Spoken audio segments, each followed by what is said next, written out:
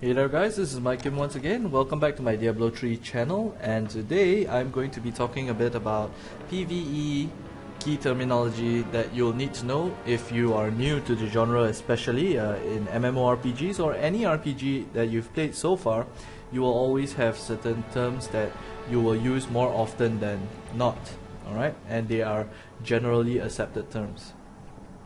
Okay, so what I'm going to be talking about today is crowd control kiting, AOE, and aggro. Uh, if you've never heard any of these before, uh, it's alright. I'm going to be explaining them one by one. And first up is crowd control.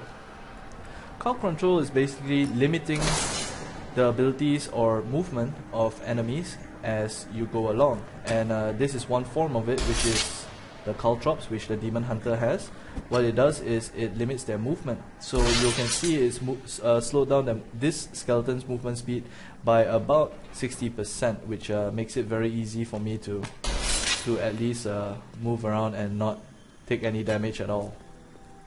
Uh, the next one that I was going to tell you about was kiting and this is actually what I'm doing. Kiting is basically doing as much damage as possible while taking as little damage as possible. Alright uh, I'm not exactly attacking him or dealing any damage right now, but I am taking zero damage as well. Uh, simply by limiting or restricting the amount of movement he can he has, I am pretty much uh, in a very safe zone even though uh, he is almost in melee range. Now the next one that I wanted to mention was the AOE which is Area of Effect Attacks that uh, all classes have. It's just uh, how they use them. Uh, like the Barbarian has the Cleave ability, and in my case, I'm using the Bola shot with Volatile Explosives as my skill rune. Increase, increases the explosion radius to 14 yards. Usually it's 7 yards. So the my area of effect is 14 yards. Area of effect. The amount of area that I influence after I shoot my Bola shot. So once I leave the Bola shot on a target, Within 14 yards of him is my area of effect. Okay, I'm going to show it to you right now. What's happening here is I'm clearing out multiple mobs at the same time as my bola shot is exploding around them. You can see, the area of effect is about 14 yards. Uh, I have no idea how to calculate this, but uh, it's the case because that's what it says on my skill tooltip as you'll notice, uh, area of effect literally means it will not only kill, uh, deal damage to one target, but multiple targets as well. And that is exactly what I mean when you're building your skill build for a specific class, and I say that you need to at least have uh, one area of effect ability that you can use repeatedly to clear out rooms. Because uh, in Diablo 3, you're not going to be killing mobs, uh, enemies, one by one, but you're going to be killing them in groups a lot of the time. Alright? And the, sec- the last thing that I want to talk to you about was aggro. Aggro is a short form for aggression, and in most RPGs, it means taking the attention of an enemy mob. As you can see, since I'm the only person in this party or in this group, I'm the only person in this dungeon. What this means is that the enemies aggro only on me. If you have a teammate, it means that at least you or your teammate, your one other teammate, is going to have aggro of uh, of the enemy. And in a group, a group setting especially, uh, certain classes are better at controlling aggro than others. Uh, for example, if I'm not mistaken, uh, the barbarian has ability called threatening shout, and if you skill rune it properly, it can actually get aggro of enemy near enemies within 15 yards of him for 6 seconds all the time. It's, uh, if I'm not mistaken, spammable as well. So what this means is the barbarian is in a position to be able to tank if they want to. I don't believe the demon hunter has an ability that will actually uh, drop aggro or gain aggro other than uh, being in range of enemies. Alright? Now, uh, the, in my next few videos or in future videos, if I ever mention aggro, that is what it means. Uh, it means aggression and what it does is uh, you have the attention of uh, enemy mobs or bosses in the dungeon within the the area that you are in. Uh, that wasn't the last thing I wanted to speak uh, to you about. I'm sorry. Uh, one of my friends uh, asked me what does mobility mean. Okay, Mobility is the ability to move around quickly. Okay, um, for the a few examples that I gave was the barbarian's uh, leap attack, which allowed him to jump from uh, area to area. And as you can see, in Diablo 3, there's collision detection, where you cannot move through enemy mobs.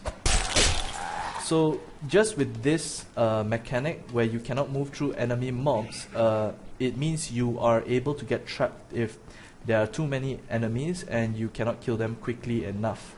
So it is very, very possible to get trapped. I am going to look for a gro group of enemies right now and try and get trapped and I'm going to show you how a mobility skill is useful in this sense, okay?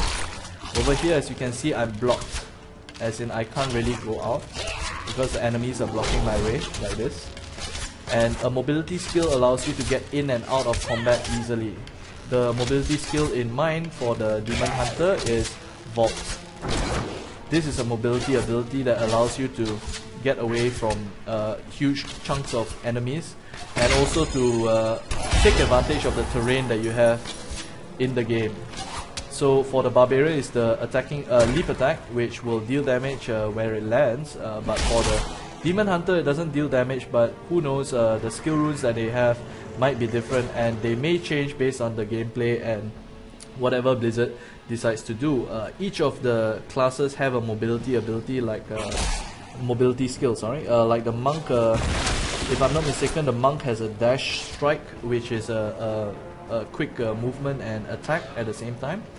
And the demon hunter has the vault uh, witch doctor if I'm not mistaken has the spirit walk. Barbarian has the leap attack and the final one is wizard has their teleport so the skill runes will affect your mobility uh, mobility skill but uh, for now I am not sure exactly what they have uh, because I don't have all of them right here but let's see what Vault has. Vault has acrobatics at unlocks at level 23 removes the discipline cost but adds a 15 second cooldown. So it'll have a 15 second cooldown but will be free to cast. It is currently 10 discipline to cast and I have a total of 30 discipline at level 13 Rattling roll, tumble for 35 yards. All enemies within 8 yards of your destination are knocked back and stunned for 1.5 seconds. This is good, especially in PvP when uh, you want to prevent people from running away. You can actually vault to them and deal damage at the same time while you're stunning them. Uh, then there's another one at level 40. As you travel, shoot arrows for 75% weapon damage at nearby targets. This is probably very good uh, in PvE because uh, you'll be able to vault back and forth uh, within a room uh, as long as you have discipline uh, and deal damage at the same time. I'm not sure how many arrows she's shooting uh, or he is shooting because it says as you travel shoot arrows. It doesn't say how many or how many times it actually shoots. Tumble after using Vault. Your next Vault within 6 seconds has its discipline cost reduced by 50%. So from 10 discipline, the next Vault within uh, 6 seconds will be 5 discipline, which is not too bad, but yeah, that is uh, very situational. It's pretty good because uh, it means you can vault twice in a row, but uh, for half the price, uh, which means it will cost 15 discipline. As compared to acrobatics, it's free, but you only get to do it once every 15 seconds. Trail of Cinders, ignite with fire, dealing 100% weapon damage as fire to everything along your path. Okay, this is a damage dealing vault at the same time. So you'll see that uh, even though it's a mobility skill, you can actually uh, tailor it to your tastes. Uh, so that's about it for today's video on crowd control, kiting, AoE, area of effect, aggro, and a mobility skill. Thank you very much for watching. This is Mike Kim. See you soon. Good night.